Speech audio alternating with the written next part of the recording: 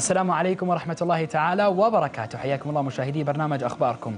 أخبار جديدة محلية ننقلها لكم من مواقع التواصل الاجتماعي. حياك الله أخوي سلمان. حياك الله خالد وحيا السادة المشاهدين في رصد إخباري جديد نبدأه بالعناوين. الباحث السعودي عامر العسيري يوضح لأخباركم حقيقة تكريمه في أمستردام. أزمة تأخر رواتب موظفي مستشفى الأفلاج تتفاعل باستقالات جماعية والمستشفى بلا حراس أمن. السجن عاما وخمسمائة ألف ريال غرامة لممارسات الاحتيال على الشباب بمواقع التواصل. ورجل أمن يخاطر بحياته وينقذ 16 طبيبة من حريق اندلع بإسكان مستشفى بالخرج. الرياض وجدة تهدران من حياتك ثمانية وثمانين ساعة يوم سنويا.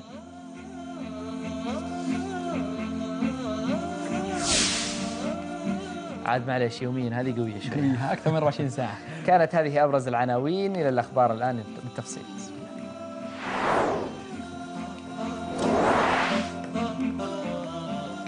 ضمن حملة للتعريف بتنوع المدينة الثقافي نشرت بلدية مدينة أمستردام الهولندية صورا للعديد من الأجانب الذين يعيشون فيها واحتضانها لرعايا 180 جنسية مختلفة من جميع أنحاء العالم. في مبادرة نفذتها عدة جهات.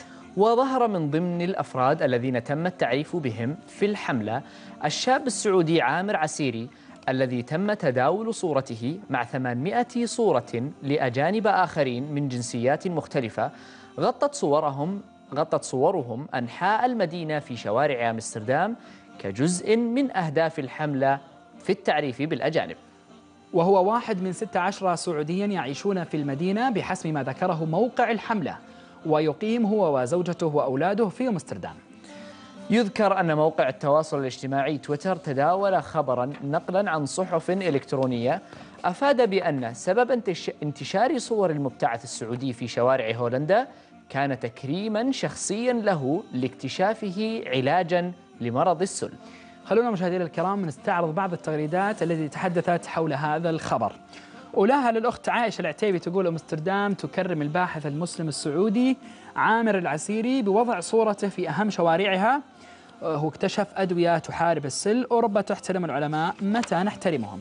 حساب مجتمعنا قال في تغريدة أخرى أمستردام تحتفي بالباحث السعودي عامر الكبيسي عامر عسيري وتوزع صوره بالشوارع تكريما له لتميزه في بحث عن المضادات الحيوية ومكافحة البكتيريا. نلاحظ الفرق بين الخبرين بين خبر عائشة وبين خبر حساب مجتمعنا. صحيح. فواز يقول كفو يستاهل الله يوفقه ويوفق كل المبتعثين. يا رب. آه كانت خالد هذه بعض ردود الفعل آه عبر مواقع التواصل الاجتماعي تحديدا تويتر طبقا للخبر الذي آه تم تداوله عبر صحيفة الرياض وصحيفة عكاظ والعديد أيضا من الصحف آه الأخرى. نحن في برنامج أخباركم حبينا نتأكد من صحة المعلومة ونأخذها من فم أصحابها على ما يقولوا. لذلك تواصلنا مع الباحث آه والمتخصص في الكيمياء الحيوية آه الطبية عامر كبيسي وهو صاحب الصورة المنتشرة اللي انتشرت عسيري عفوا. أنا مصر عليك بيسي. عسيري. آه، طبعا هو صاحب الصور المنتشرة في شوارع عاصمة هولندا أمستردام. حياك الله عامر. حياك الله أخوي. آه شكرا لتواصلك معنا وتجاوبك. خليني أسألك عن السبب الحقيقي. لاحظنا في آه اختلاف بين الأخبار آه ويمكن صار في هجمة آه عليك وعلى مجموعة من المبتعثين. آه لكن ما عرفنا إيش هو السبب الحقيقي لانتشار الصور هذه في شوارع أمستردام واللي تداولوها الناس عن طريق الواتساب على الخصوص. بالضبط. إذا أنا خليني أديك فكرة عن المشروع بشكل مبسط وش أهدافه وبالتالي الناس حتقدر تفهم إيش الموضوع بالضبط. آه اسم المشروع 180 أمستردامر. المشروع تبنته بلدية أمستردام وله هدفين رئيسيين. طبعا الهدفين الرئيسيين هي أهداف تسويقية. الهدف الأول التعريف بالجنسيات المختلفة اللي تعيش في مدينة أمستردام ومقابلتهم وسرد تجربتهم المعيشية في مدينة أمستردام وإعطاء فكرة للعالم أن مدينة أمستردام حاضنة لكل الأطياف اجتماعيا ودينيا وثقافيا. الهدف الثاني إبراز المتميزين في عدة مجالات اقتصادية واجتماعية و... ومن ضمنها البحث العلمي اللي أنا أمثله في هذه النقطة. طبعا تم التواصل من قبل البلدية مع جامعة أمستردام الحرة وجامعة أمستردام. آه، وطلبوا منهم ترشيح عدد من الباحثين المتميزين من جنسيات غير هولندية. وتم اختياري وترشيحي من قبل الجامعة لمقابلة آه، المسؤولين في البلدية. آه، وبعض الصحفيين من جريدة هيت بارو المشهورة الهولندية. وزاروني في المعمل وأعطيناهم فكرة عن الأبحاث اللي إحنا بنشتغل عليها واديناهم فكرة طيب. البحث الحالي اللي إحنا عامر لو تسمح لي عامر الاختلاف الحقيقي بين الناس كان هل أنت لقيت ما حل مرض السل ولا أنت في بحث في طور بحث؟ هذا هو الاختلاف الحقيقي هذا هو المشكلة هنا. إيش إيش الشيء اللي طلع معك بالضبط؟ إيش هو سبب التكريم النتائج سبب التكريم طبعا طبعا النتائج المعملية أدت آه، بشكل كبير نتائج ممتازة في مكافحة الأمراض البكتيرية من ضمنها السل الرئوي. هذا أهم نقطة. طبعا البحث لم ينشر إلى الآن وأنت ما تقدر آه، آه، تقدر تأكد طبعا ولا تقدر تسميه علاج لأن عارف مرحلة العلاج تحتاج اختبارات آه، مكثفة واختبارات سريرية على الإنسان. لذلك إحنا نقدر نسميها مركبات كيميائية. ما نقدر إحنا نسميها كعلاج. يعني بشكل اوضح بشكل نعم. أوضح أنت لم توجد علاج لكنك في طور البحث وهذا هو سبب وجود اللوحات صح ولا لا؟ بالضبط أيوه التميز واضح. طبعا البحث مقبول ولكن لم ينشر الآن يعني خلال إن شاء الله شهرين حينشر البحث واضح. طبعا البحث لمكافحة البكتيريا الممرضة وهذا هو السبب طيب أستاذ عامر آه، سؤال إحنا يعني نبغى نعرف آه، سبب التضارب في الصحف، الخبر المنتشر في الصحف ما هو مصدره؟ هل أنت صرحت للصحف؟ لا آه، أنا لبعض الصحف الإلكترونية صحيفة واحدة إلكترونية اللي هي صحيفة الحياة قدم فقط. أما صحيفة الرياض لا مصرح لها نهائيا. طيب إذا الأستاذ عامر عسيري وهو متخصص في الكيمياء الحيوية الطبية شكرا جزيلا لمداخلتك. إذا سلمان ومشاهدينا الكرام نروح للخبر التالي. أخذ امتناع موظفي مستشفى الأفلاج العام عن العمل والذي واصل والذي وصل لليوم السابع على التوالي منحا تصاعديا بعد أن شهد الموضوع تقديم استقالة جماعية لستة منهم للشركتين المشغلتين لمستشفى المحافظة العام. وأبرز هذه الاستقالات كانت لمدير الأمن والمشرف العام احتجاجا على عدم صرف رواتبهم المتأخرة والمقدرة بخمسة أشهر متبقية. هذا وقد اشتكى أكثر من ستين موظفا منهم حوالي 57 سعوديا من تأخر صرف رواتبهم من قبل المؤسسة المشغلة بمستشفى الأفلاج العام. وأكد عدد منهم أن تأخر صرف رواتبهم أدخلهم في حرج فلديهم أسر وأطفال لا يعرفون من أين ينفقون عليها كون الراتب الذي يتم تقاضيه من المؤسسة هو مصدر رزقهم الوحيد. الجدير بالذكر أن المستشفى بدون حراسة ومفتوحة الأبواب منذ سبعة أيام تقريباً. خلونا مشاهدينا الكرام نستعرض بعض التغريدات اللي جاءت تعاطفا مع موظفي المستشفى. آه نبدأ آه مع نور ونور يبدو أنها آه أحد الناس اللي يتعاملوا مع المستشفى تقول ليته على الحراسة وبس أمي تعبانة ولا في تحاليل شاملة. أحد الحسابات الأخرى رد على ذات الحساب يقول الله يرحم حالهم وبس. فعلا شيء محزن. عماد يقول في تغريدة أخرى للأسف الصحة تتجه عكس التيار. التيار. إذا مشاهدينا الكرام وللحديث أكثر عن قضية مستشفى الأفلاج العام معنا على الهاتف مفلح بن هندي الحديبي وهو المشرف العام ومدير الأمن بالمستشفى. حياك الله أستاذ مفلح. حياك الله أخوي. آه بداية نرحب فيك في برنامج أخباركم ونسألك في البداية على حسب الخبر أنتم لم تستلموا رواتبكم منذ ستة أشهر ما صحة الخبر؟ صحيح يا أخي الكريم آه، ستة شهور الحين سلموا لنا شهر قبل آه، أسبوع تقريبا آه، يوم يوم الخميس ودخلنا الحين في أربع شهور و13 يوم ها. طيب إيش الإجراءات اللي أنتم بدأتوا فيها أو ناويين تبدأون فيها؟ والله إن توجهنا المكتب العمل وقدمنا شكوى على الشركة هذه. إيش كان رد مكتب العمل؟ والله مكتب العمل قام بزيارة للمستشفى و- وعلى حسب الكلام اللي بعد مراجعتنا لمكتب العمل إنه آه، تم إيقاف الحاسب ال- آه، الحاسب عليهم. والس- والسجل التجاري طيب آه، بالنسبة لوزارة الصحة هل تفاعلت مع هذا الشيء؟ ولا ما لها دور وزارة الصحة؟ وز- وزارة الصحة آه، يعني حطت الخلل من ال- من الشركة والشركة تقول إن إن شو اسمه الوزارة هي اللي اللي ما تصرف في المستخلصات طيب خليني أسألك سؤال آخر أستاذ مفلح أنتم الآن لكم أكثر من أربع آه، أربع أو ستة شهور صح ولا لا؟ نعم أربع شهور أربع شهور و13 يوم لأن دخلنا في الشهر و- السادس وأقول. لك يوم الخميس اللي الماضي طيب وينكم طول هذه الفترة؟ وين وينكم ساكتين طول هذه الفترة ولا ليش طلع الموضوع الآن؟ والله طلع آه، غصب علينا يا أخي ان عندنا أسر وعندنا آه، عندنا يعني كل واحد يعني كل واحد عنده عنده شو اسمه لا إله إلا الله التزامات. التزاماته الخاصة. يعني كل شيء كل واحد له بالدنيا يعني لا إله إلا الله آه، ظروف أي وقدمنا الشكوى و على انها جت متاخره بس الحمد لله.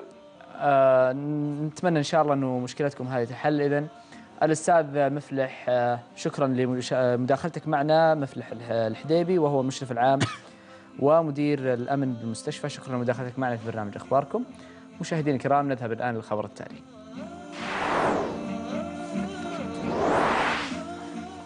أكد المستشار القانوني سلطان المخلفي أن تهمة الاحتيال ستوجه إلى الفتيات اللاتي يقمن بخداع الشبان للحصول على المال. وأضاف المستشار القانوني أنه في حال استخدام أي من الفتيات مواقع التواصل الاجتماعي للابتزاز أو الاستغلال فسيطبق في حقهن النظام الخاص بجرائم المعلومات الذي تصل عقوبته إلى 500 ألف ريال والسجن لمدة عام.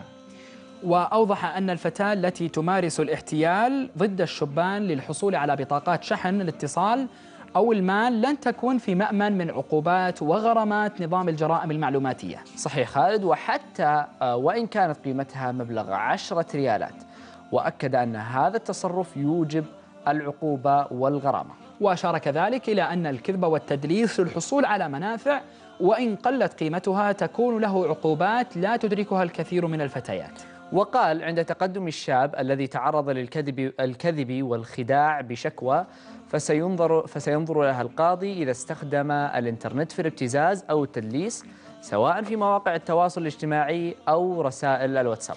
كما جاء في الفقرة الرابعة من المادة الثالثة من نظام الجرائم المعلوماتية التي تنص عقوبتها على السجن سنة والغرامة 500 ألف ريال أما إذا إذا لم يستخدم بها النت فتكون عقوبتها تعزيرية خاضعة لنظر القاضي طبعا هذا الخبر لقي نصيبه من التفاعل عبر مواقع التواصل الاجتماعي وبالتحديد تويتر. آه نبدأ مع نايف الصحفي آه يقول متخيله هو رايح لقسم الشرطة يشتكي ويقول أنا تخرفنت. أبو طلال يقول آه تم وضع قانون للخرفنة رغم سخفها دون أي مطالبة ولم يتم وضع قانون التحرش رغم مساسه بالعرض رغم آلاف المطالبات وجهة نظر آه يعني تعبر آه. كل شخص ها؟ أي. آه خلينا خالد نروح للخبر التالي تمكن رجل أمن بمحافظة الخرج من إنقاذ 16 طبيبة وتأمين خروجهن بسلام من مقر سكنهن الذي تعرض لحريق أمس الأحد حيث قام بتوجيه الطبيبات لمخارج الطوارئ ومن ثم تفتيش الغرف كافة للتأكد من خروج الجميع. وقالت مصادر إن رجل الأمن ويدعى أحمد عوض تحرك لموقع الحريق بإسكان مستشفى الملك خالد بالخرج وعمل على تطبيق كل إجراءات السلامة والإخلاء. وقد تعرض نتيجة لذلك لوعكة صحية بسبب الدخان الكثيف حيث تم وضعه تحت الملاحظة بطوارئ المستشفى.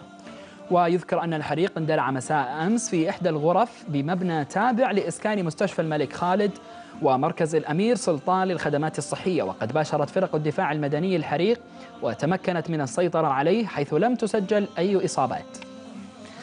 آه الحمد لله على سلامة الجميع. خالد مشاهدينا نذهب الآن للخبر التالي.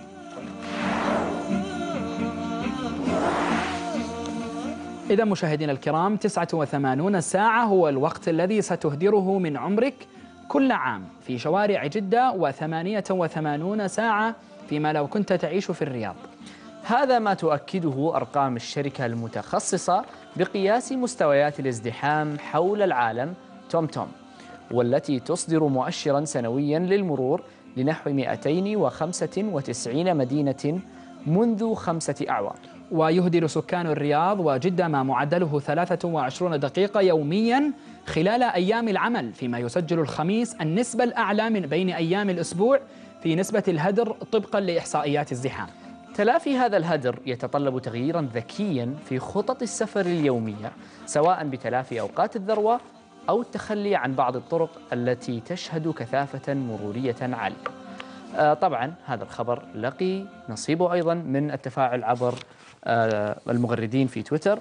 نبدأ أول تغريدة مع فهد. يقول إي والله ضاع وقتي يوميا ساعتين في الزحمة. رتويت. أحد الحسابات يقول ساعة لدوامك وساعة راجع من دوامك لبيتك. يعني في اليوم ساعتين وفي اليوم آه، آه، طبعا في اليوم ساعتين 10 في الأسبوع و40 في الشهر. اذا 480 ساعة في السنة وشكرا. عمل إحصائية سريعة. حامد الزهراني يقول تذكرت واحد عندنا كان عايش في جدة يقول عشت في جدة 20 سنة خمسة منها وأنا عند الاشاره لا بعد وقعت ب 30 سنة. اذا خالد طيب. مشاهدينا الكرام خلونا نذهب الآن إلى الخبر التالي. نبدأ, نبدأ مشاركاتكم بصورة خطيرة جدا لرضيع صغير وضع على سور أحد المرتفعات الشاهقة بطريقة تظهر مدى الاستهتار بأرواح الأطفال من أجل التصوير. طبعا تشوفوا الآن الصورة أمامكم. يعني صراحة لا حول ولا قوة إلا بالله. يعني لو تحرك الطفل لا سمح الله. والله شيء غير يعني معقول يعني ممكن يطيح. هذا أتمنى أنه يوقع فيه أشد العقوبات والغرامات بصراحة. لأنه هذا شيء يعني لا يقبل عقل. والله ما يقبل عقل. وتكون هذه يعني سلمان يعني نعمة من الله عز وجل هبة الذرية. والكثير من الناس يعني يتمناها ويحلم بها. وقد يكون بعض الأشخاص مستهتر بهذه النعمة التي لا قدر الله ربما في حركة بسيطة قد يسقط. لا سمح الله. إذا مشاهدينا الكرام وإلى مكة مع هذا المقطع المتداول شاب متهور يتحرك على حافة برج الساعة. نشاهد.